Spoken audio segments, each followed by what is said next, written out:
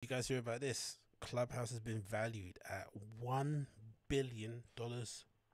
One billion. How insane is that?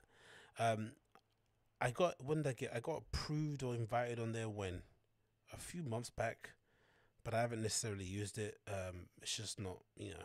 Again, I, I don't really care for some of the topics that get spoken about on there. You know, men, boys, and girls relationship stuff, first date shit. Like it's just the nonsense topics again and again and again. But it has seemed to re- it does resonate with some people. I don't know why particularly, but it does resonate. And now they are valued, or they're going to be valued at one billion dollars for the next round of investment, which is pretty insane. Especially when you consider, I think they don't even have one million users yet, right? It's still invite only. Um, it's only available on iOS, not available on Android. Like I said, invite only, not even 1 billion users, and it's very valued at 1 billion. I still think there's room for a competitor to come in and just completely crush them or take away a sizable chunk of their uh, of their market cap. I think um, wasn't reported that Twitter have done something right. They've they've put out some sort of feature that basically compares to what Clubhouse are doing. So that could be an avenue. You can definitely see somebody like an Instagram maybe getting involved and just doing something similar, right? I can definitely see that being a thing. So there is a very short window for them to make a lot of money or to make some sort of impact, or it might just end up being one of those apps like Snapchat that just ends up capturing a certain segment of the population. They don't let go of it, and it just keeps running by itself, basically. Do you know what I mean? So, um, yeah, update Sunday. Club has confirmed it's raised a Series B round led by Andreessen Horowitz. The race to invest in the social uh, audio clubhouse is on again. Venture capital firms have approached the startup founders in recent weeks about leading its potential next round of funding at roughly $1 billion valuation, according to four people with knowledge of the app.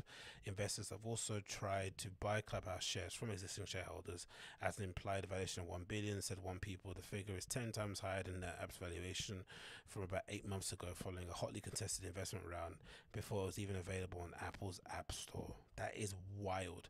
A new deal at the billion dollar valuation would be unusual for a social media app at this stage of life and would also reflect a broader increase in the valuation for the past growing privately held tech firms. That is wild, isn't it? Pretty, pretty impressive to be honest. Um, it doesn't really happen too often, isn't it? Social media apps launching nowadays and becoming this successful. It's pretty um, it's a pretty hard sector to kind of break into and make an impact, right? A social media app, especially with Facebook, Twitter, and Instagram just being as dominant as they are. So for them to come in with a very, I guess it's the it's the niche that they occupy as well, isn't it? They're a specific niche. They're only appealing to people that want to hear the sound of their own voice in big chat rooms talking about all manner of nonsense. So that appeals to a very particular group of people and then you put it behind a you put it behind an exclusivity paywall, a passivity wall, right? People love being in the know and being one of the cool kids, and then you allow the cool kids to talk amongst themselves. People on the outside in want to hear what they're saying. They beg for invites. I think people are selling invites now, right? I've got, I think I've got about four invites. I think I can offer out there to people, so that's funny. People are actually selling their invites to flipping clubhouse, but yeah, it was a clever tactic to be fair, and it worked out brilliantly for them. So let's see what happens going forward with the app. But like I said, I'm interested to see what ends up happening. Would uh, people would you know apps like Facebook come in and just buy them out and just completely crush them, or will they end up just doing what they're doing on their own and continue to grow as time goes on?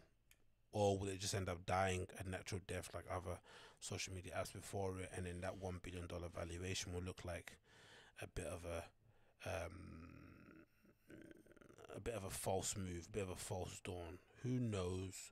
Who knows?